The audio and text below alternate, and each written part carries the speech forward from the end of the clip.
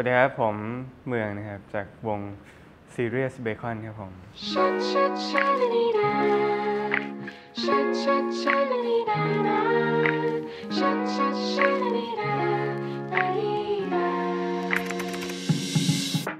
หลักๆ ตอนนี้ทำวงอย่างเดียวเลยครับทำ Serious Bacon ครับ จริงๆ ผมเริ่มเล่นดนตรีเนี่ย ช่วงป .6 น่าจะเป็น กีตาร์โปร่งก่อนเลยตัวแรก เห็นเพื่อนเอามาเล่นที่โรงเรียน แล้วก็คิดว่ามันแบบเท่ดีอะไรเงี้ยครับ คิดว่าถ้าเล่นแล้วผู้หญิงน่าจะชอบอะไรเงี้ย ก็เลยเริ่มเล่นดนตรี จริงๆ ช่วงแรก ๆ ที่เริ่มเล่นกีตาร์ไฟฟ้าเนี่ยคือแทบจะไม่รู้เรื่องอะไรเลย เมื่อก่อนก็ไม่ไม่เคยเล่นกีตาร์ไฟฟ้าเลยด้วยซ้ำอะไรเงี้ยพอต้องเลือกกีตาร์ไฟฟ้าตัวแรกตอนมาเริ่มทำวง ก็เราก็เดินเข้าไปในร้าน แล้วก็ตอนนั้นอาจจะงบไม่ได้เยอะมากเลยครับเลยมองดูเป็นพวกสควอเ r อะไรเงี้ยแล้วก็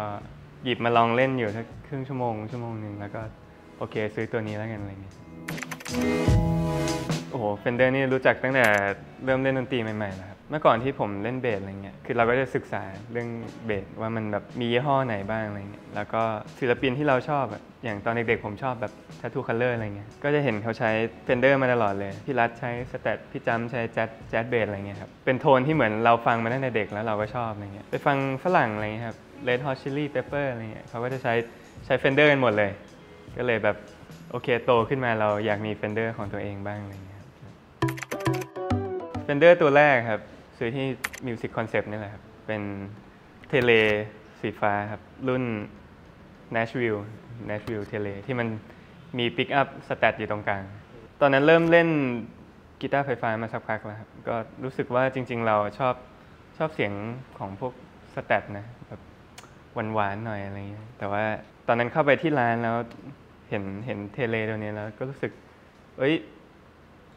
ชอบชอบหน้าตามัน คือผมซื้อกีตาร์นี่ต้องดูหน้าตาด้วยนิดนึงอะไรเงี้ยแล้วก็พอได้ลองเล่นแล้วก็รู้สึกว่าเอ้ยมันมีความผสมแบบทั้งเทเลแล้วก็สตรัทอยู่ในตัวเดียวกันอะไรเงี้ยครับเพิ่งได้มาล่าสุดเลยครับ เป็น Fender Made in Japan นะครับ รุ่นพิเศษที่เขาทำกับร้านเครื่องดนตรีที่ญี่ปุ่น ตัวนี้จริงๆมันคือรุ่น Traditional 60 นั่นแหละครับ เป็นเทเล แต่ว่าไม้หน้ามันจะเป็นเป็นวอลนัทจริง ๆ ตอนนั้นที่ไปก็คือไม่ได้เล็งจะเอา Tele เลย เพราะว่าผมจะไปหาหากีตาร์ที่มันเป็น hum เพราะเรามี single coil เยอะแล้วนี่ครับแต่ว่าไปเจอตัวนี้แล้วลองเล่นแล้วก็มันก็มีความพุ่งในแบบ Tele ของมันอะไรเงี้ยครับจริงๆก็คือกลับมายังไม่ได้เอาไป setup ด้วยซ้ำแต่ว่าเราก็ มันก็ไม่ได้เพี้ยนหรือว่า intonation มันก็มันก็ตรงอยู่อะไรเงี้ยครับตอนนี้ยังไม่ได้ยังไม่ได้ใช้อัดเพลงอะไรเลย เอาไปเล่นสดอย่างเดียวครับตัวนี้เป็น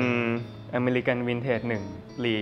57ก็ตัวนี้ได้มือสองมาครับ พี่ที่ร้านก็เอาตัวนี้มาให้ลอง บอกว่าพี่ว่า Serious Bacon เนี่ยน่าจะเหมาะกับตัวนี้มากกว่าอะไรเงี้ยครับตัวนี้ใช้เล่นทัวร์ปกติเลยครับ ช่วงหลัง แล้วก็ขึ้นคอนเสิร์ตใหญ่ก็ใช้ตัวนี้ตัวเดียว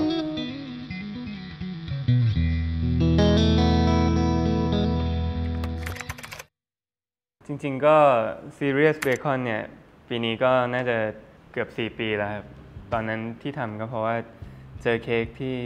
คณะอะไรครับ เรียนมาด้วยกัน แล้วก็เหมือนพอรู้จักกันสักปีหนึ่งเราก็ก็เลยตัดสินใจมาตอนแรกทำ cover ด้วยกันก่อน cover นั้นมันดันมีคนเข้ามาดูเยอะพอดีอะไรเงี้ยครับก็เลยตัดสินใจว่าลองทำต่อกันดูอะไรเงี้ยครับแล้วก็ลงไปสัก2องสาคลิปมีพี่ที่ค่ายครับจาก Box Music เขาทักมาพอดี แล้วเราก็รู้สึกว่านี่เป็นโอกาสที่มันสำคัญมาก เพราะว่า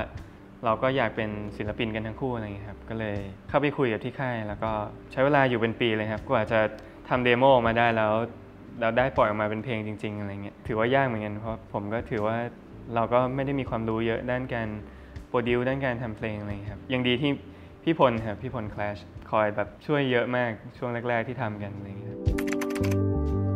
อยากให้ไปลองดูที่ร้านเลยอะไรอย่างเงี้ยเพราะว่าจริง ๆกีตาร์เนี่ยจริง ๆ ผมมองว่ามันคล้ายแบบการเลือกเสื้อผ้ามากเลยนะเพราะว่าแต่ละตัวมันไม่เหมือนกันเลยครับแล้วก็เราดูในเน็ตมันก็ ได้ประมาณหนึงเลยครับแต่ว่าพอเราได้มาจับมันจริง ๆ ได้มาเล่นมันจริง ๆ เราถึงจะรู้ว่าจริง ๆ เราชอบเล่นกีตาร์ทรงไหนชอบเล่นปิกอัพแบบไหน